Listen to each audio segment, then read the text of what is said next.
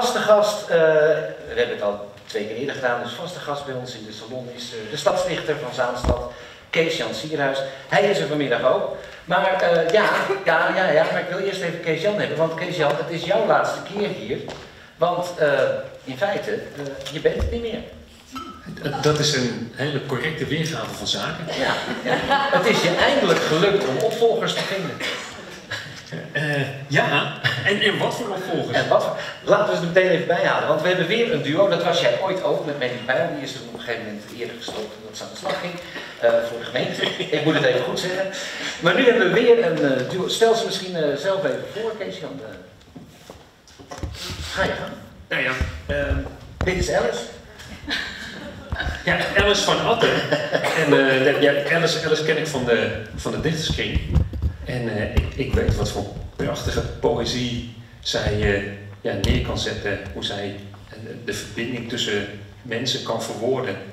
Ja, op een fantastische manier.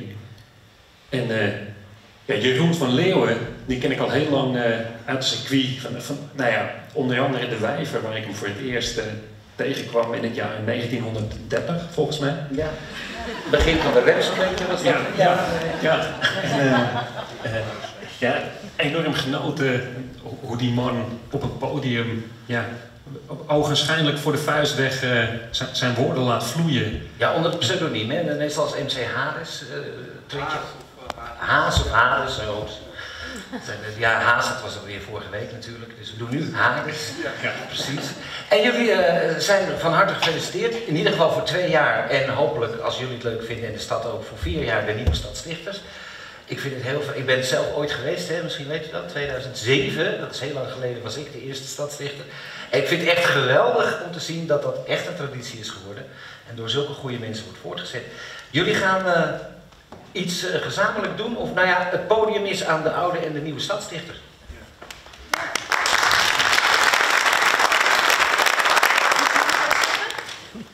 Uh, misschien moeten we iets zeggen over hoe we het gedaan hebben.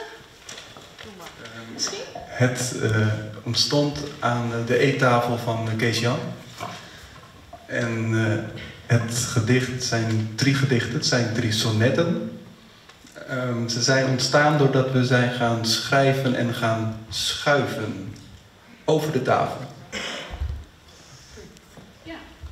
En, en geïnspireerd op uh, Louis Couperus, zijn poëzie. Orchideeën.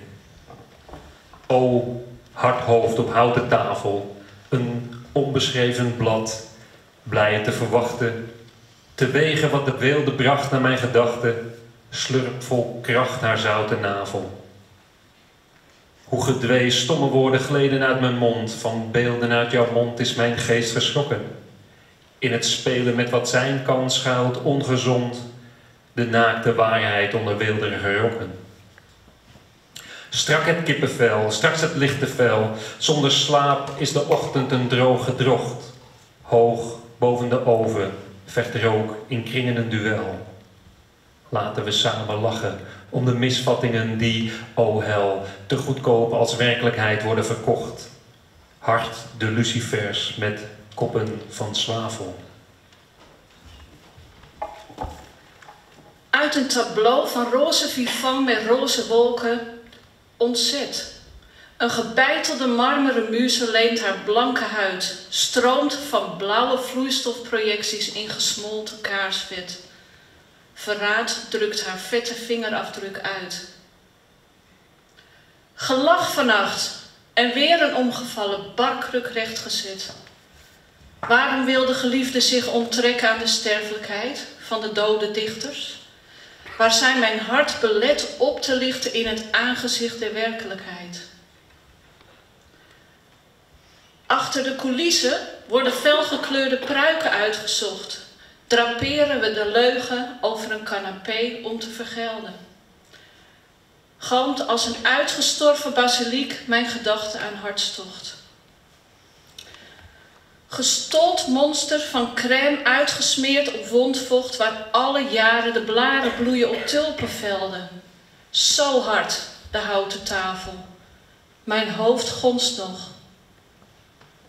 Wat maakt jouw bleke handen van bloemen, van mededogen? Te verzuchten in ochtenden van een levendig verleden. In gespierde taal zwegen dichters die elkaar bestreden.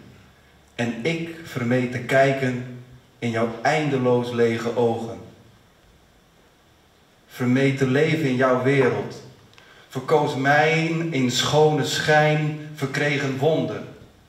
De wereld van in witte wazen weggespoelde twist knelt. Zelfs een stoelendans macabre is niet bijzonder. Door mentholparfum heen de lijkenlucht begraven. Onder mijn dolende ogen door, waar blanke handen opgaan om in de mist te blijven schaven. Een wereld vol ellende is voorbijgegaan, zo waar. Klauwt met zwarte nagels om bleke borsten zwaar. Zwakke zielen aan de harde houten tafel.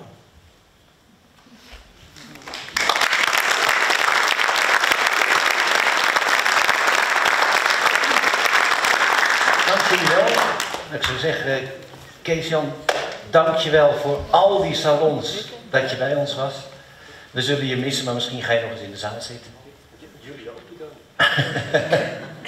en Jeroen en Alice, hartelijk welkom. Ik hoop dat we jullie ook, net als Kees-Jan, elke salon mogen begroeten met iets toepasselijks. Spits is eraf en het belooft veel. Hartelijk dank. Dank jullie wel. Ga lekker zitten. De nieuwe stadsdichter.